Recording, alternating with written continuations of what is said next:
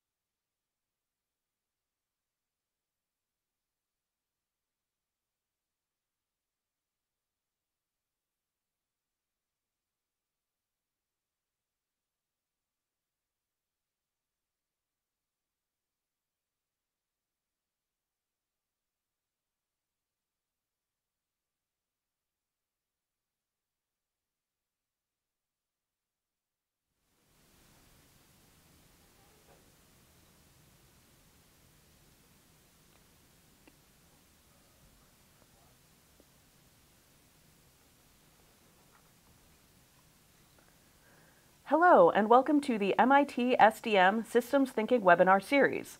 My name is Naomi Gutierrez, Communications Administrator for SDM, and I am today's host.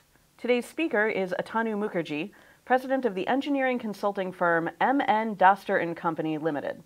He advises the energy, materials, and commodity industries in strategy, technology, operations, and finance. He also serves as visiting faculty at the Indian Institute of Management and has previously held leadership positions at Microsoft and Digital Equipment Corporation. Atanu is an alumnus of the System Design and Management program and also holds a graduate degree from the National Institute of Industrial Engineering, Bombay. His talk today is titled Enabling a Gasification Based Sustainable Industrial Economy for India. If you have questions for the presenter, please enter them into the chat window at the side of the video. They will be addressed during the Q&A portion of this session. The recording of this presentation will be available online after today's session, and a link will be sent to all registrants. And with that, thank you, Atanu. Thank you, Naomi, for that introduction. Um, I think uh, you know what I'm going to talk about today is um, is something very exciting, uh, I believe, and this is got to do with uh, energy and energy systems and how some of the developing countries um, can adopt energy systems using traditional fossil fuel energy at the same time making sure that uh, you know, you're carbon compliant and uh, sustainable production is achieved from the different industrial systems that are designed.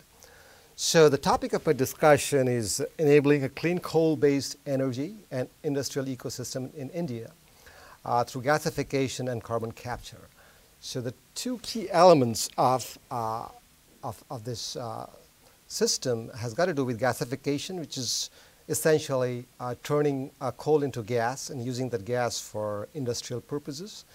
And also in the process, uh, making sure that you capture the carbon and uh, use that carbon either for industrial purposes like, uh, like manufacture of products and or you know, taking out oil or uh, in, the, in the worst case, uh, putting it underground in terms of storage. Right?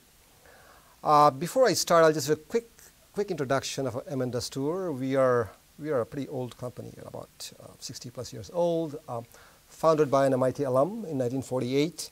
We focus on energy infrastructure, metals and mining, and essentially in the area of business technology, engineering, and operations.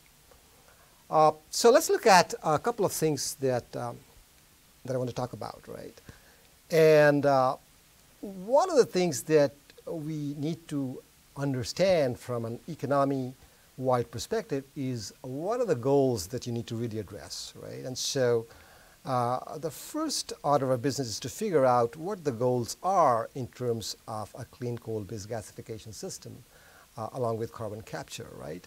And we've got to think this in the context of the overall economy uh, because what you're talking about is a design of a system which affects uh, the macroeconomy, which affects the industrial ecosystem, which affects uh, the sustainability, and obviously uh, it affects uh, the socioeconomics of the country, right?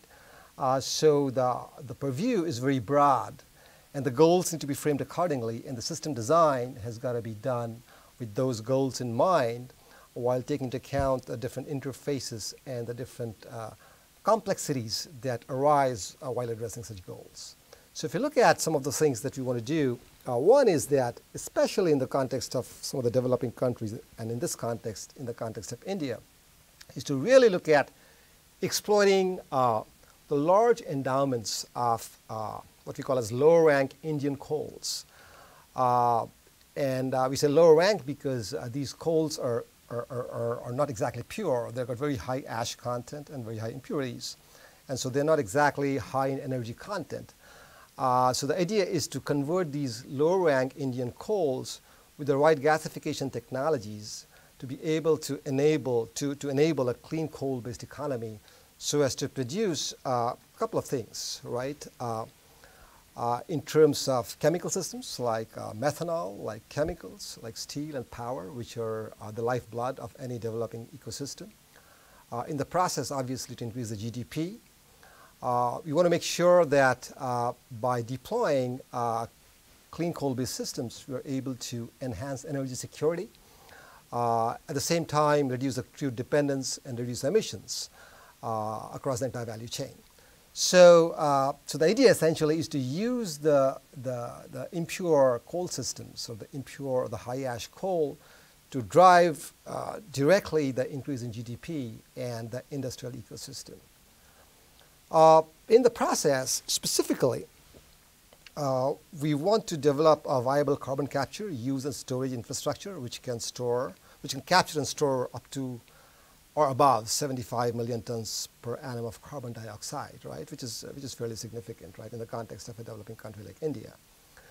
And uh, in building such a system, or in building such uh, an ecosystem, uh, we find that, uh, that we might have to uh, have about 60 plus billion dollars of investments uh, that need to happen through international investments or national investments over a 15-year cycle. And finally, I think what we want to really make sure, right, uh, is not to reinvent the wheel. A lot of these things in gasification space and carbon capture space has been happening over the past many, many years, probably decades, right? And uh, specifically, if you look at uh, the programs of DOE uh, and the programs of ARPA-E, uh, you'll see a lot of these technologies that have developed over the past 50 years, 60 years. And the idea is to adapt uh, and evolve these, uh, these technologies, right, and the related subsystems to be able to really uh, accelerate the process of design and development, right, of such an ecosystem, right? So essentially a policy-driven collaboration and investments in technology transfer uh, and also enabling imports uh, is essential, right, to really create commercial scale operations. And like I said, we're not talking about a pilot, we're talking about commercial scale operations uh, across a large uh, set of industries uh, across an entire economy. Uh, if you look at uh, the, some of the drivers, right, and, and again, this is just a top-down approach to figuring out how we get to some of the decisions that we make in terms of how we go about uh, developing such an ecosystem, right? And one is, of course, energy. And if you look at the energy, one way to look at it is is to look at the total uh, energy matrix of India, right? And so I got a couple of figures out here, uh, a little number heavy, but, but just kind of like gives you the picture. Uh, on, the, on the left, you got, uh, you know, the oil consumption of India in terms of imports and, and, and uh, national production. So you got the reserves out there at 6 billion.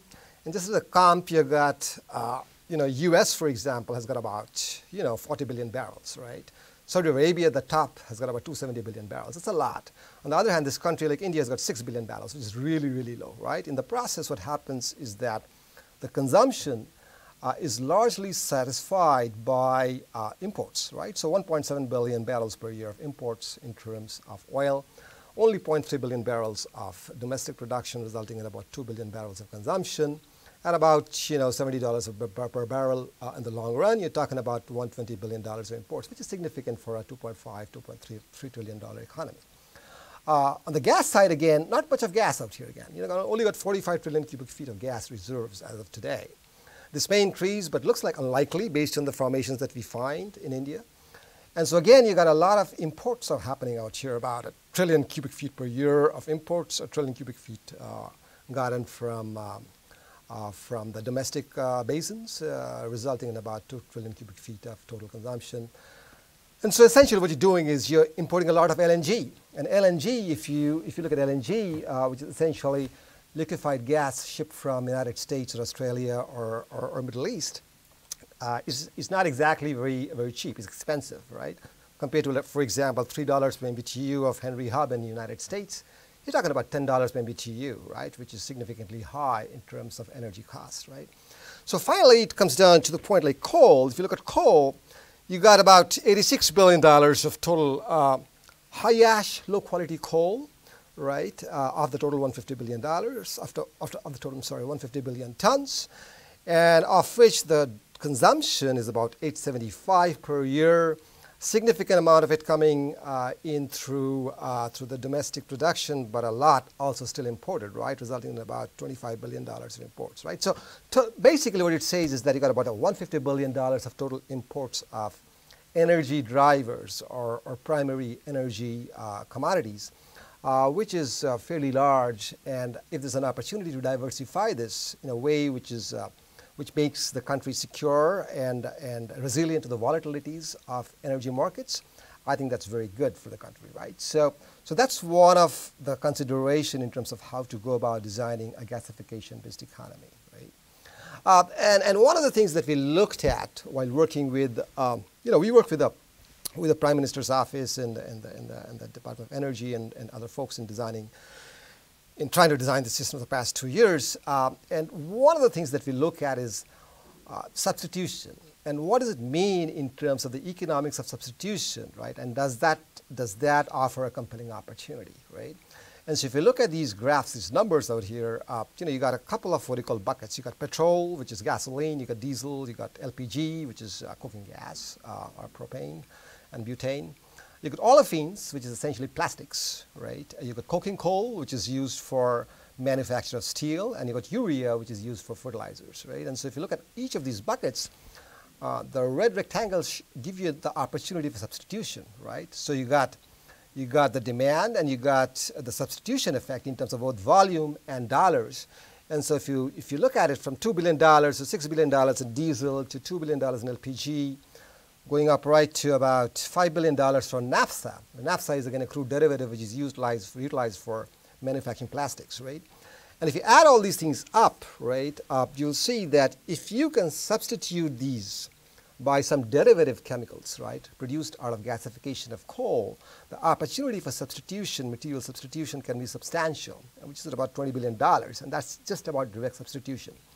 So we think and we, we find that by using methanol, right, as a fundamental chemical uh, base, base driver, uh, one should be able to substitute uh, gasoline, uh, diesel through DME, uh, LPG through DME, which is dimethyl ether, uh, olefins or plastic production through, again, methanol to olefin route, which we call as coal to olefins. substitute coal in steel production, coking coal in steel production, by utilizing uh, uh, gasification uh, as, a, as a substitute and similarly utilizing syngas as we call it from the gasification for urea production instead of, instead of natural gas but reforming, right? So all that adds up to about $20 billion in a very compelling way. Uh, at the same time, uh, you know, it's, it's, it's useful to look at, and it's important, I think not useful, important to look at uh, the emissions, right, the GHG emissions in India, right, which, which will rise uh, it's just the nature of the economy. Much as, all, much as all of us would like to have emissions as contained as possible, uh, it's unlikely that emissions will be contained uh, unless we do something dramatic in the fossil fuel space in the developing nations, and especially so in India and China. So if you look at the emissions out here uh, in India, you got about uh, Uh, it's modest by, by absolute standards, right? At right now, 2.5 going to 5, uh, 5 gigatons compared to US or for that matter, China, right, which goes up to about 18, 18 gigatons. Uh, still, uh, and also on a per capita basis, it's modest, but still the trajectory of growth, right, if you look at it, it's, it's, it's, it's pretty steep which basically means that if I, if I continue this way, uh, the, the absolute amount of CO2 emissions from uh, all the industrial sectors is going to be significant because uh, there is no way that in the near future uh, you will have contained use of fossil fuels or fossil fuel bases for either production of uh, manufacturing goods or for generation of power or energy. And so this will continue to increase. the question is how do we contain that and get it to a much flatter trajectory and perhaps get it down to a trajectory which is negative over time. And one way to do that is, or not one way, uh, the way I think to do that is to really look at how do I continue using the fossil fuels, but we are able to look at capturing the carbon dioxide and uh, either utilize it or store it for the purposes uh, you know, of uh, carbon storage and sequestration or manufacture of industrial goods. And so uh, one of the things that we looked at is, you know, uh, on the, on the right-hand side, on the lower, lower right-hand side of the graph, is what is the sectoral co contribution uh, to CO2 emissions of these different sectors, right? And so you get power, transport, industry, and other sectors. And if you look at uh, three major nations, right, like India, US, and China in terms of major economies, 27%, uh, right, of the total sectoral contribution to CO2 emissions comes from the industry. And this is the blind spot, by the way, worldwide. You know, we talk about renewables, we talk about all these uh, exciting things, but uh, very few people have talked about and really, or people have really addressed the issue of industrial emissions, right? Which is significant by itself around the world, right? And so what we think by engendering uh, an ecosystem of, uh, based on gasification, we can really address that 27%, right, of emissions, CO2 emissions uh, in the industry by using gasification of coal to generate methanol as a base, base energy carrier to be able to create uh, different kinds of chemicals and thus reduce the emissions of CO2 uh, from across the different industrial sectors. And so I think that's the primary, uh, one of the primary drivers in terms of how we, or rather primary strategies in terms of how we want to go about uh, engineering such a system right across the economy. Uh, so, so what does it mean in terms of, uh, of, uh, of, the foundations of a clean coal-based economy, right? And so um, if you look at it, I talked about it a little bit, and let's quickly go through this. We've got about uh, 150 billion tons of proven high ash, low rank coal resources in India, right? And the top, what you call a pie chart like circle, talks about the different qualities of coal. G1 to G3 is a quality of coal which is very high quality, having very high energy content, and G15 to G17 is really bad quality, right? And so so if you look at it, right, uh, the dark blue uh, semicircle, uh, which is uh, you know, G9 to G14, right, essentially is you know the, the high ash, low quality coal which is lying around, right? And the question is, can we make use of that in a way which is very compelling for the entire economy, right? And, and the bottom, bottom uh, left uh, graph talks about you know, the composition. Uh, the key point to note out here is, is the percentage of ash, which is like 34, 39, 31, 35 across different regions. And that you know, tells you about the quality of the coal and hence the energy content, which is not exactly very exciting. So the idea is to kind of like use this uh, in an economic manner at the right cost structure to be able to drive the gasification process across different industry sectors and to drive the, the production of uh, chemicals and, and, energy carrier like methanol to be able to drive the economy, industrial economy, right? And the, and, and, and the deposits in terms of this, these coals of different types, the dark blue talks about these large deposits, right? 35 billion tons, 20 billion tons, 27 billion tons in the eastern part of India, right? This probably is pretty much the area where you would uh, establish a lot of these kind of uh, gasification ecosystems. Uh, and here's, uh, before we go out of you guys might be thinking, what is this gasification thing? But this is essentially what you do is, is very simple, right? It's, uh, it's, it's, not, it's no rocket science out here. Uh, you got oxygen, you got water, uh, you got coal and biomass or pet coke, right? Which is fed into this, uh, into this gasifier, which is essentially a vessel where you partially combust these, these fuels and uh, using oxygen or air, uh, in this case oxygen, which is most efficient, right? In the process, you essentially create syngas, right, uh, which is uh, uh, carbon monoxide and hydrogen, which has got energy. So you convert the, the energy in the coal and biomass to carbon monoxide and hydrogen. And then using that uh, chemical energy, right, as a carrier, you can create hydrogen, you can generate power through uh, clean coal power plants, you can generate, uh, you can take carbon dioxide and capture it for the purposes of industrial production uh, of, of, manufactured goods like baking soda. You can use that for, more importantly, uh, generating oil. Uh, you can create liquid fuels like uh, gasoline or uh, you know, uh, other, other non-gas liquids. You can create fertilizers, chemical steel, and so on and so forth, right? So there's a, there's a wide variety of, of applications that can be really engendered using syngas that is produced through uh, coal and biomass using water and oxygen. So that's basically the gasification process, uh, just, just uh, to give an idea of what this means, right?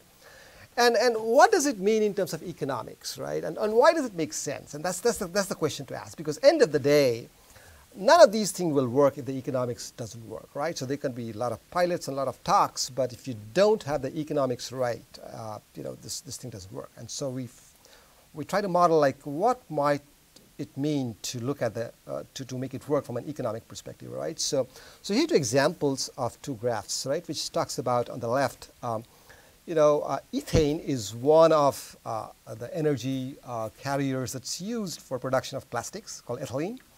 Uh, and so there's ethane cost in dollar per energy units, MMBTU, and then on the, on the, on the x-axis, you got ethylene cash production cost, which is what are the cash costs of production. And the gray vertical line talks about uh, the costs of production of uh, ethylene with respect to the price of ethane, depending upon uh, price what price you import. And the red line talks about, you know, on, a, on, a, on, the, on the opposite scale on the right-hand side, the cost of coal, right, for the same ethylene cash cost production. So the blue line out here, which intersects between you know, the cash cost of production, let's say, are about 650 million, uh, $650 per ton, tells you that at about $14 per MMBTU of ethane cost, which is the cost at which you know, got landed cost of ethane in, in India usually, your cost of coal should be at about $40, right? If you go above $40, you will not meet your EBITDA and the ROI numbers, right? So, so that this graph gives you an idea, you know, of how the dynamics of the prices between coal and uh, other uh, crude-based carriers like ethane, uh, you know, interact, and what are these crossover points. And so similarly, uh, if you look at this yellow line, uh, you know, on the, on the left, you're talking about if ethylene cash cost, right, goes down to kind of like, uh, you know, $450, and if you have uh, essentially ethane cost going to $10 per MMBTU, your corresponding cash cost, right, of coal has got to be about $25, which is like uh, real low, okay? Uh, and we've done the same thing with crude oil with ethylene cash cost production based on naphtha, right? Because uh, the two ways of creating plastics, one is uh, chemicals uh, in, in, the, in, the space. One is, of course, using ethane, and the second is using naphtha, which is a crude derivative. And similar dynamics play. So what this results in, essentially based on our model simulations, is that for CTO, or coal to olefins, or coal to chemicals to be competitive uh, with crude derivatives, coal has got to be at about $40 per ton, right? And that's, that's, that's a way to do it, right? And uh, and uh, you know, with the, with, the, with the price of coal dropping over time, uh, with, uh, with the domestic coal production uh, uh, where it is in terms of availability of high ash coals, uh, it, it probably makes a lot of sense to look at coal, to model the coal, coal supply chain in a way which allows you to get to the cost of about $40 per ton, right, in the long run. And of course, there's this whole thing about volatility right? Uh, given the fact that you're going to deal with coal, the volatility is going to be much less. So the, so the drivers in terms of economic performance of these industries based on um, methanol as a carrier, or chemicals as a carrier, is going to be very, very attractive, right? Okay, so, so let's look at this, uh, what it looks like, right, in terms of a, of a, of a sustainable economy based on gasification and carbon capture. So what you're talking about, this is something what you call, uh, we model this based on these, these goals and those assumptions and those, uh, those data parameters that I just talked about. And uh, this is something what you call the CGE model, or a computable general equilibrium model. You know, sounds a mouthful, but it's very simple. It's basically looking at all these elements and trying to figure out what the effect is of each element on the other, and hence what is the impact on the economy in terms of investments and output. So on the top you got imported coal plus, uh, plus domestic coal because you can sweeten the coal a little bit because the coal quality is, you're talking about high ash coal. And then you feed that to what we call as, uh, you know, the, the, the, gasifiers, and there are different types of gasifiers, uh, uh, fluidized bed gasifier, there's a fixed bed gasifier, and flow gasifier, there's different kinds of gasifiers. In the case of, of, of, of high ash coals, uh, you probably will go with fluidized bed gasifiers, as I'll talk about later use this to gasify and then drive a set of industries, right? The chemicals industry is basically methanol derivative based industry. You've got steel, which is going to use uh, the gas essentially for uh, converting uh, iron ore into steel or, or, iron. And you've got urea or, or, ammonia, which is derived basically from the, the carbon monoxide and hydrogen, right, synthesized using the Haber-Bosch process. In the process, you're talking about doing a capture of about 80% of the carbon dioxide, right? And we call it a pre-combustion capture, and I'll talk a little bit about that in, in a while.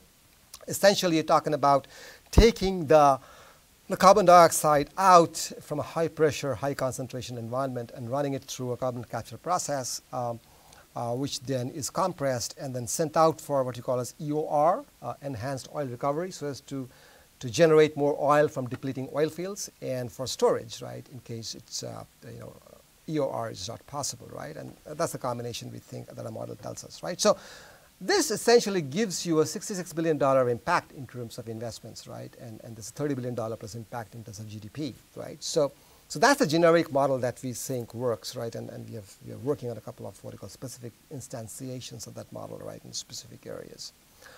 Um, so let's talk a little bit. I'll just quickly go through this in terms of what do we mean by carbon capture and, and, and utilization storage. For those of you know about it, I think it'll be just a repetition. But, but essentially what you're talking about is separation of CO2 from flue gases, um, you know, uh, from the emission sources. Uh, we are talking about transporting those gases, CO2, uh, CO2 to locations where it can be utilized or stored either for oil or for storage.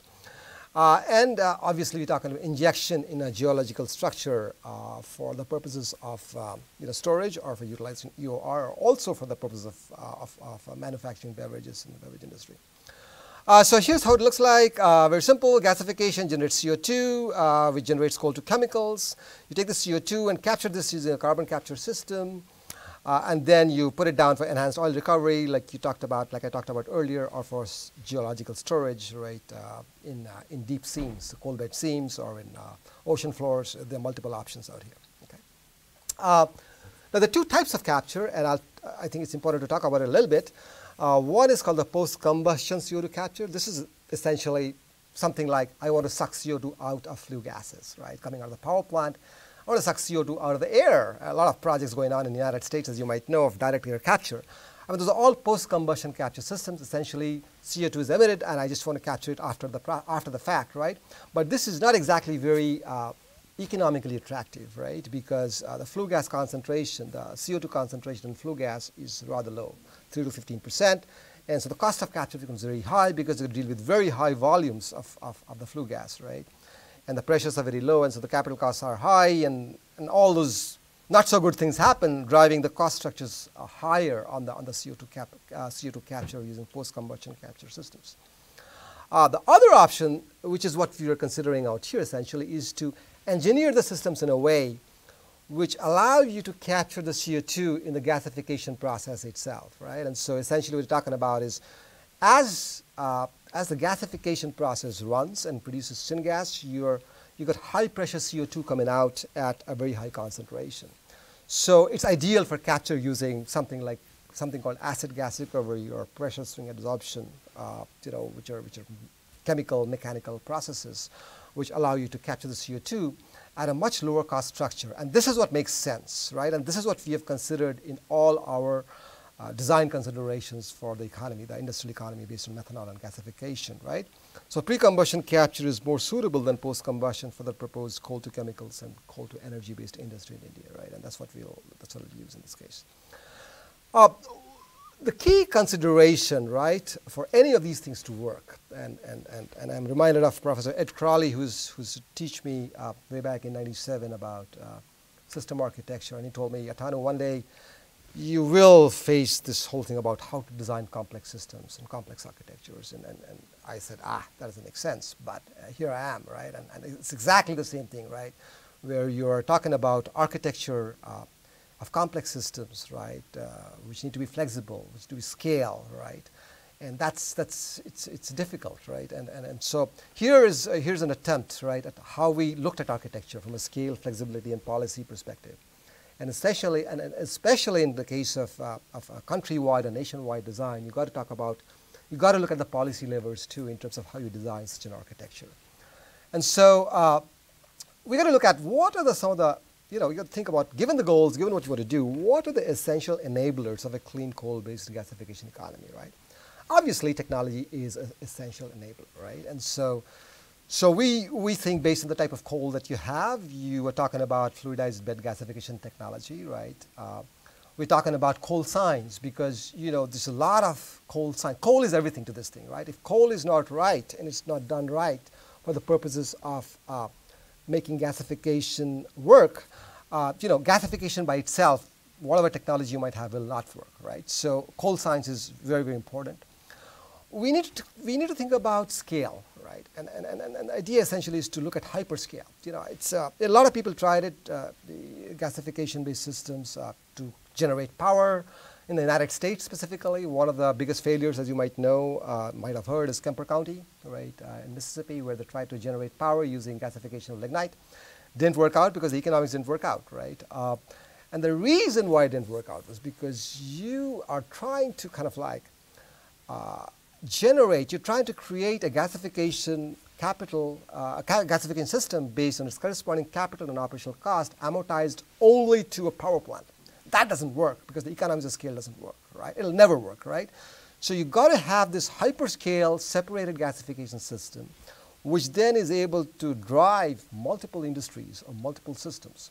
That way, you're really kind of amortizing or kind of like taking advantage of the multiple cost structure advantages that you can take off, right, based on scale and the characteristics of these different industries, right? So uh, a way to think about it is like, you know, I want to, let's say, want to, want to buy uh, and run a toaster, right? And you say, oh, for toaster, like, or electricity, right? And you say, oh, oh, you know what, I want to put up a power plant for that, right? Clearly, that toaster is not going to work, right, from an economic perspective. So it's something like that, right? You want to have this architected in a way where the separation between scale and the downstream components in a way which is synergistic from an economic and operational perspective, right? Uh, and then uh, technology, methanol to olefins technology is very important for this, right? Where you're essentially using methanol as an energy carrier to be able to drive uh, generation of olefins, right? Like I said, very large scale gasification operations. This is not going to work on small scale. This is not going to work when I say I'm going to have gasification drive a power plant or gasification drive a chemical. No, it's got to be a, a large scale gasification utility just like large scale power utility, right? Uh, you got to have this whole architectural separation with the right kind of interfaces, right? Uh, and, and, you, and, and, and SDM folks, those of you folks who are gone through SDM, you'll know that separation requires interface definitions. And defining interfaces at this scale is complex, right, and requires a lot of thought on how interfaces can be defined across gasifier and downstream uh, utilities and downstream industries, right? Uh, and obviously, this has got a lot of implications in terms of what it means in terms of capital costs, what it means in terms of operations cost advantage, what it means in terms of entry attractiveness, right? Because what you want to make sure is that different industries are attractive uh, enough from a perspective of entry using gasification as, a, as, as the fuel, or gasification as a process and syngas as the fuel, right? So that the investment uh, for the downstream eco ecosystem is rather low and it drives a virtuous cycle of investment of multiple industries with high ROI. Uh, one of the very important things to consider in this case is the supply chain, right? And the supply chain has got to do with the, basically the feedstock supply chain. And you got to move very large volumes of uh, coal, right, across different areas, right? And so logistics becomes very important, right? Uh, logistics both from an internal perspe perspective as well as from import perspective, right? And so the whole idea was to develop the, around the coast using coastal clusters. You know, uh, you might know that clusters have the, one of the highest productivity and, and logistically are the, probably the most efficient, right, in terms of designing such large-scale systems, right? And so using multimodal logistics, right, using coastal clusters, right, with the right kind of blends of coal is important for making this thing happen in terms of uh, the supply chain, the feedstock supply chain. And finally, I think uh, very important consideration is policy. Without policy uh, mechanisms uh, in the right areas, it is not possible for this, for this to work, right? So one of the policy mechanisms is the whole thing around coal blocks, right? I don't know whether you know or not, but India had this whole problem about coal blocks, right? Allocation scams, and you know, and so they decided to what they call auction coal blocks at the highest price.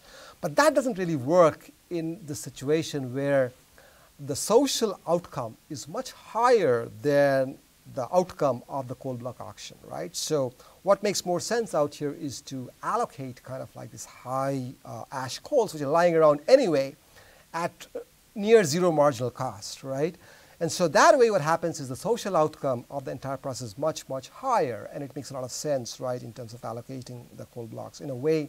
And we have a couple of mechanisms that we design around how to allocate coal blocks in the best way.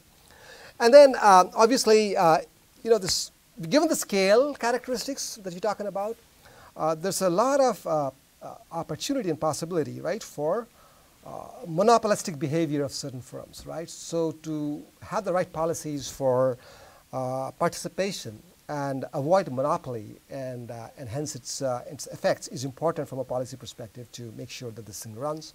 And obviously demand creation for the new kind of what you call chemicals and new kind of processes for substitution is important. And we suggested a 45Q, which is a US what you call program for uh, carbon credits, uh, you know, investment carbon credits and operational credits, uh, which uh, we think is deficit neutral and can, can be really what you call made to work, right? So, so those are the essential enablers from architectural perspective, which I think is important, right, at the economy level to make this industry happen, right? And so essentially drive coastal clusters, right, uh, using technology, scale, supply chains, and policy. Uh, here's what it looks like. Don't want to complicate this stuff, but how would it look like a syngas grid-based clean coal coastal cluster, right? And so on the left, you've got this hyperscale syngas utility. Each cluster is like a large cluster of industries along with, uh, you know, a, a separated hyperscale syngas utility, right? Which creates the syngas just like power and gives it a syngas grid at a cost structure which is pretty affordable and, and uh, attractive at $5.5 MBTU. And that goes into these consumers of this, this gas, which is uh, you know, coal to olefins uh, through methanol, uh, DME, which is uh, for LPG blending and diesel blending, and methanol itself for petrol blending and different chemicals, right? And so the numbers talk about the investments, and the numbers talk about you know the, uh, the, the outputs, and, and, and, and then you've got, of course, the CO2 processing hub, uh, which processes the whole thing in terms of CO2 that is captured. And this is again a separate utility at scale, which gives you that cost structure, which is attractive in terms of storage at $10 per ton and EOR at $10 per ton, uh, which can be utilized either for export or for the purpose of CO2 EOR. And then you've got a corresponding power utility, uh, which is run by the gasification system, which supplies power to this cluster. So this is what a cluster looks like, right? And these clusters are multiple clusters across the coastlines, right? So each of them 7 MTPA uh, are 7 million tons per annum of methanol production and its derivative production across, uh, you know, six such regions around the coast, which we think uh, gives you a lot of advantage in terms of the savings of uh, logistics, in terms of feedstock, uh, cost of olefins, in terms of transportation, uh, in terms of CO2 transport and export for EOR through ships, for example, and of course, in terms of storage, CO2 storage uh, at the coastlines, which we're working with UT Austin around that area, right, in terms of how to store CO2 with the right kind of mapping. And uh, obviously, future desalination plant for use of water because gasification consumes a lot of water. So desalination is probably the right way to go. And if you're, if you're a coastal cluster, that's easy for you to desalinate the water to be able to utilize that for gasification. Uh, and finally, I think, uh, you know, from architecture perspective, the policy is very important, right? And market design and investment policy is critical, right, for making this happen, right? So market design, what do you mean by that, right? Uh, one of the things you're talking about is substitution, right? So there's a market design element out here where you say, okay, 15% of, of, of gasoline will be substituted with methanol, right? That's a government policy, right? So that automatically creates demand. Uh, investment policy is encouraging, uh, you know, in terms of investments in the area, right? And so the tax breaks policies that we have defined, which make a lot of sense. Uh, I think on the supply side, we're talking about a lot of policies in terms of coal supply, coal logistics. We're talking about policies in terms of how do you really scale this and avoid monopolies, right, and price gouging. And so uh, the ability to provide the right kind of regulated monopoly structures for these gasification utilities uh, while uh, making the other downstream industries, uh, you know, driven by market mechanisms is probably the way to go.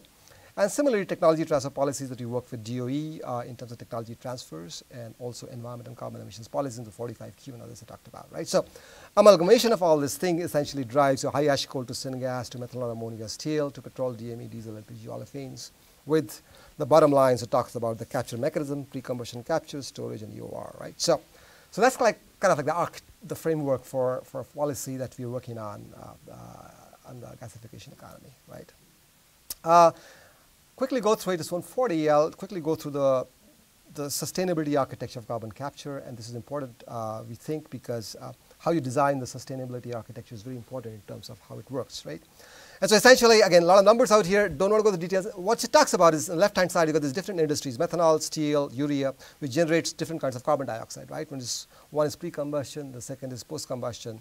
And you're saying that we take the pre-combustion carbon dioxide to start with, go take it through a carbon capture facility, uh, we're talking those numbers of 85 MTPA at 75% capture goes through EOR or storage, right? And which can, which has got effect in terms of substitution, in terms of oil recovery and, uh, you know, uh, and reduction of parts per million of CO2 in the atmosphere, right? And some numbers and the costs are out here. Happy to talk about it later if you want, but these are details which we can talk about, right? And the other thing that you that I just want to touch upon is that to do this uh, in, in a way, we got to step ahead of the 45Q mechanism of the U.S., right? We think that a cluster finance corporation, right, which is like a, is a way to finance all these carbon dioxide emissions, right, with carbon credits, right? Because otherwise, if you don't give carbon credits, there's no incentive, right, to implement a carbon capture system any industry, right? And so the way to do that, we think, is two things, right? One is these blue dots you see on the top, right, are, are essentially uh, credits we give to carbon capture uh, for at a certain rate and credits we give for power offtake and gasifier offtake. And, uh, and this is something that's required for the purposes of avoiding market failure, right? Um, and I can talk about it later, but essentially what it's saying is that we have credit, credit default swaps on gasifier offtakes and power offtakes so that, you know, there's an incentive to build them, right, uh, by different investors. Uh, and then this whole thing is financed using something called a, you know, cluster finance corporation, which is a combination, which is sovereign, sovereign guaranteed, and that, in, that, that invites a lot of uh, uh, debt from the bond markets, about $1.5 billion, put in about $5 million of equity, and you invest that into these clusters, right, which gives you a good return, 18, 20% in the long run. Uh, from the taxes, you know, which is in the green lines, you basically fund the CFC further, and you pay back what you call the $90 million in the bond markets. And so this whole thing becomes sustainable, right? Self-financing in a way uh, because the fundamental assumption is that based on the investments you make in this economy, they generate sufficient taxes and returns to be able to fund all these what you call mechanisms. Uh, what does it mean in terms of socioeconomics of a clean coal-based economy? And again, this is again one of the aspects that you could talk about, think about, right, in terms of uh, in terms of uh, architecture, nationwide architecture of such a system, right? And so uh, impacts are quite significant, right? And so if you look at it, right, uh, the three or four lines. One is the what's the incremental direct GDP, right, from a consumption perspective that is affected. And you have $30 billion, which is not insignificant. More importantly, the employment generation, right, direct and indirect, is significant, right? About a million, million heads of employment generated, right, direct and indirect, uh, is not insignificant. It draws in a lot of investment, like I talked about earlier, $66 billion over a 10, 15 year time period, time horizon and it's got high spillover index in certain areas like methanol and chemicals and steel and, and ammonia because they tend to uh, uh, extend the technological capacity of a nation, right? And so that's the spillover index, right? So, so from all those perspectives, it looks kind of like interesting and nice. And finally, uh, you know, how, what does it mean in terms of trade and dynamics, right? Because that's an important consideration, right? So if you look at it, like I mentioned earlier, uh, this changes the trade balance, right, of the, of the nation, right? And I've taken India out here. This can be very well applicable to some other na nations too, right? And so on the left-hand side, it talks about increase in import, right? And the right-hand side, it talks about substitution of import, right? So if you look at all these numbers, what you're talking about is uh, some imports increase, like some coal imports of high-quality coal to be blended needs to increase. Technology imports from the United States, for example, increase, right? Uh, but on the, on, the, on the overall scheme of things, you're talking about a $20 billion, right, uh, substitution of import, right, which is kind of interesting for a country, uh, developing nation, right. Uh, so from all these aspects, uh, gasification-based economy with carbon capture looks to be very interesting way of going about, uh, embarking about uh, a national transformation, which we are kind of like starting, started on the past two years. And hopefully over the next uh, decade or so, uh, this will kind of like uh, go into implementation in different forms and, and reap the benefits for the country and, and other partners.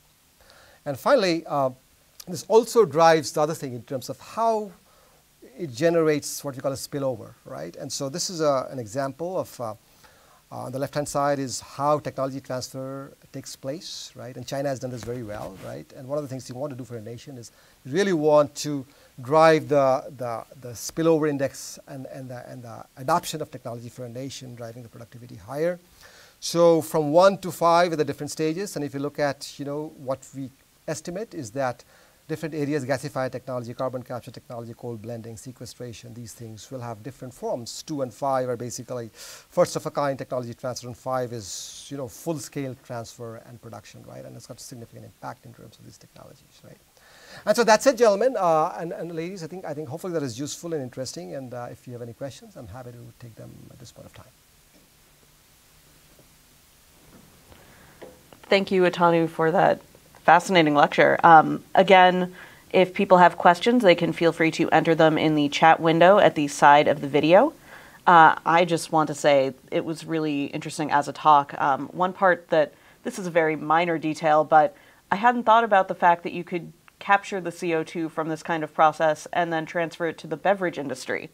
Uh, it's something that I don't think a lot of us think about as far as where the bubbles in our seltzer come from, but it's a nice side effect, I guess. Yes, absolutely, yes, that's right. Huh? Um, and one thing that I also found really interesting towards the start of the talk, um, just talking about the various sectors that are contributing to emissions. Um, I feel that much of the discussion, kind of in current culture, at least in the US, is about individual effects. You know, stop driving your car, take public transit instead, stop using so many plastics in your personal life. But as you showed in your chart, a lot of the emissions are coming from industry.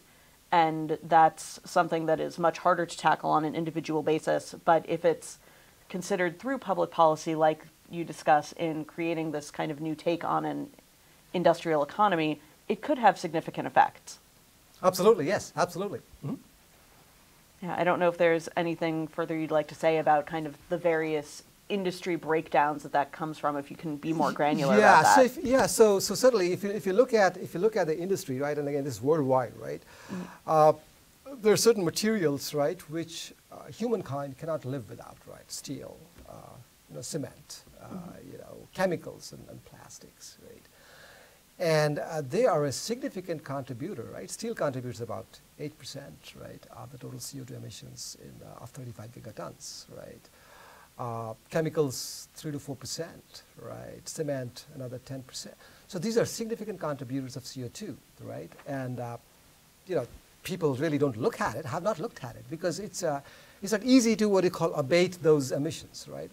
And so if you are able to transform some of the feedstocks or the mechanisms which drive the industrial process, you can bring that down significantly. And that's what we talked about, you know, mm -hmm. here, right? And how you can go about bringing that. And I think the most opportune countries for, the, for them are the developing nations like India because they're embarking on developing their manufacturing economy like a steel, like a cement, like a, you know, uh, uh, plastics and, and, others. Not the United States. The United States is more mature in terms of those kind of manufacturing, right? So the opportunity really lies out there to contain those emissions by using industrial processes right around this, which really allow you to enable you to do that. Right. So the hope would be that before they get too entrenched in more typical fossil fuel, use, fuel usage, you could get them onto the system that comes out of the gasification. That's correct. Yes, absolutely. All right. So it looks like we do have a question from Anand Marathe, uh, who says, an excellent presentation, which I agree with. Are any of these carbon capture technologies currently implement, uh, initiated for implementation? Yeah, so, uh, so the carbon capture technologies, like I said, right, uh, uh, have been in implementation in the United States and Europe for a long time, for quite some time, right? So if you look at some of the projects, uh, uh, like the Boundary Dam project in Canada, right, utilizes post-combustion capture to capture about 2 million tons of CO2 per year, right? If you look at the Petra Nova project in the United States, which is again a power plant post-combustion capture systems, about 2 million tons per year. If you look at, uh, you know, uh, there's a, there's a capture system in uh, Sleipner in Norway, which captures about a million ton per year, right? And there are multiple others, right, of smaller scale that are being implemented, right? Now, most of these systems that are being implemented are post-combustion capture systems, which has got to do with capturing uh, CO2 from the flue gases, which is not exactly very economically uh, attractive, right? There are some pre-combustion capture systems that, are like in the United States, uh, you know, where they use for EOR, like Archer Daniels Midland Company in, in Decatur, Illinois, uses that, right? And so those are very, very, very attractive from an economic perspective, right? So yes, there have been implementations, right, at commercial scale. And uh, as we move further, right, and as we implement more pre-combustion carbon capture systems, right, at the right kind of cost structures, uh, we think that the opportunity for utilizing these is significant right over time. Yeah, I think that's a really good rundown. Um, a similar and related question from S. Tuete Gupta, who asks what elements of the architecture are near ready and which are kind of further out. Yeah, so I think uh, you know the, the architecture for gasification system is uh, is near ready, right? Uh, we are talking about uh, one cluster right now uh, in the in the eastern part of India, right, uh, which is going to happen sometime shortly, right? Uh, the carbon capture systems are a little farther out uh, in terms of the implementation. We are doing the mapping, right, of the carbon capture systems in terms of storage mapping in the, in, the, in, the, in the eastern part of India, in the ocean floors of, of, of the east, right? And that's going to take a little while, right? On the other hand, uh, the EOR mechanisms are kind of like ready, right? So the two uh, specific EOR sites that we're talking about, right? Uh, one is called Bombay High, which is one of their oil production units uh, in, in India. And the second is with, a, with another oil company out in the northern part of India, right, for EOR, right? So these are the starting points, right, in terms of the carbon capture, but they're farther out. The gasification systems are kind of like there. It's not, it's not rocket science. I think the other piece, which is a challenge, which we think needs to needs a lot more work, right, is the whole thing what I talked about is coal science, being able to have the right kind of feedstock, the right blend, right, to be able to feed the gasifier, right, because these gasification and chemical energy systems are very sensitive to feedstock. Being able to feed the right kind of blend on a consistent basis is the key to the whole thing, right? Mm -hmm. And so there's some work that's being done out there which needs some more work, right, in terms of actual actual happening. Okay. We had another question from Anand Marathe uh, on the capturing of CO2 pre-combustion. Does this technology require more inve investment than post-combustion? Uh, well, no. So here's the, here's the beauty of the pre-combustion systems, right? Uh, so what you typically do in a, in a gasification system is that, uh, you know, if you are doing gasification and creating chemicals or steel or, or, or whatever, right, you would need to clean that gas out, right? Uh, for sulfur, there are different impurities, right? And in the process, you will also need to remove the CO2 irrespective. Whether you want to remove CO2 or not, doesn't matter, you have to. So the cost of CO2 removal, the capital cost and the operating cost is a part of the entire system that you, the industrial system, right, or the plant. So there's no separate investment for pre-combustion mm -hmm. capture, right? The only separate investment for pre-combustion capture is has got to do with taking that CO2 and compressing that and transporting that over a pipeline to a place for storage or for oil recovery, right? So that's, that's why it's much cheaper, right? Much, much cheaper from a capital cost and operational cost perspective compared to post-combustion. We're going to retrofit something on top of the flue gas stack of a power plant, for example, which has got significant capital costs, right, and adds to the cost of operations and the ROI. Right? That makes a great deal of sense. Um, so I had one more kind of more philosophical question, I guess. Uh, the talk is, was entitled uh, Enabling a Gasification Based Sustainable Industrial Economy for India.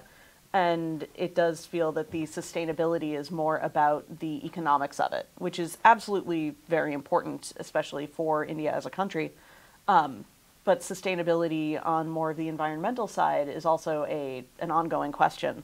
And since this is still based on a fossil fuel on coal, would it be something that would be hopefully to fill the gap while more research is being done on renewables? Yeah, so here's the question I get asked all the time. What about renewables, right? And, and, and, and, the two, two answers to this question, right, or two dimensions to this question, right? One is renewables, right? And again, this is across the world, right?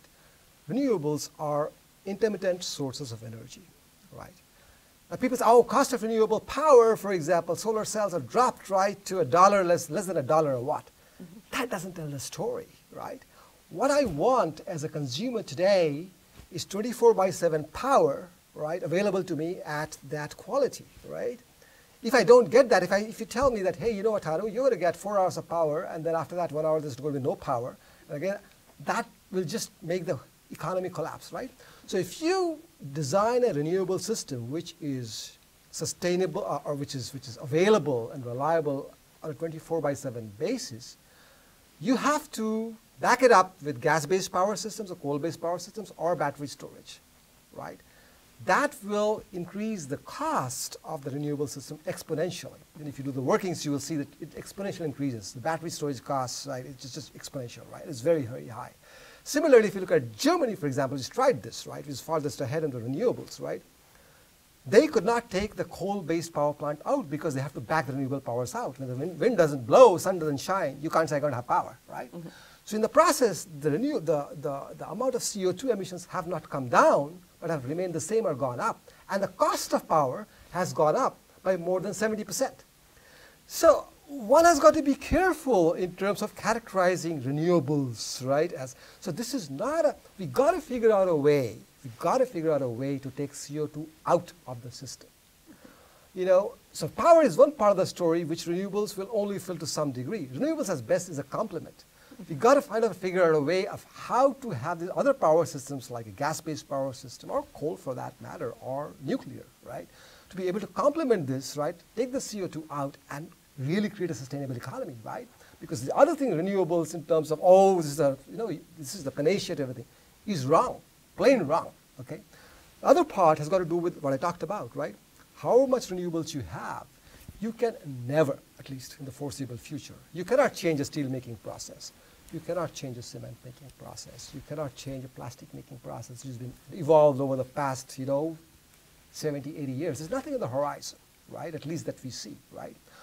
Which does not emit carbon dioxide, right? So you've got to have mechanism by which, if there's a way to change the feedstock and be able to capture the carbon. So renewables is a complement. I think much as people might like to believe that this is a panacea, it is not. We do not believe that it's going to be a solution for the next 30, 40, 50 years, unless, of course, something miraculous happens like in MIT. Who knows? that's, that's where it comes out from, right? It's quite possible. If that happens, all bets are off, right? So research should continue, but we should plan, right, from a sustainability perspective, how do I contain the CO2 and capture the CO2 from systems that I've got, which in all likelihood is not going to change over the next 15, 20, 30 years. That's a really detailed answer, and I do appreciate it.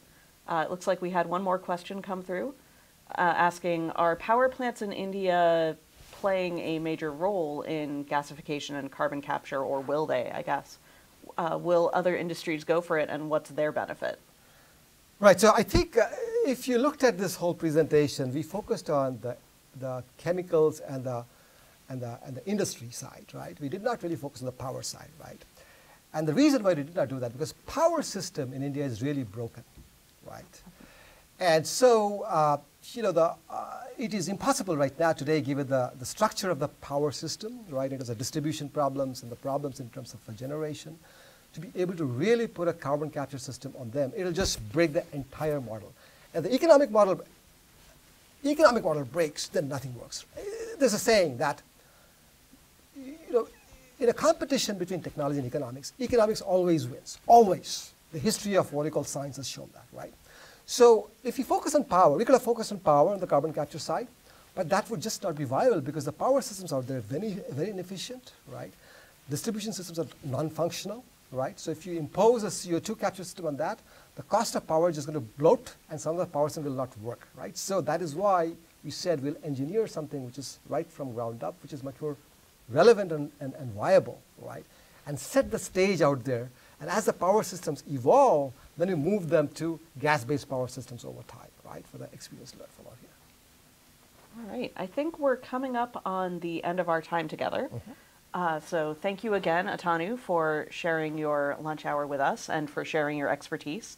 And thank you to our attendees for joining us today. Again, the presentation recording will be available online after this session. We will be taking a break for the winter holidays, but the webinar series will resume in February of 2020 with Nicholas Ashford, professor in MIT School of Engineering. On behalf of the System Design and Management program, thank you for joining us. Thank you, Naomi.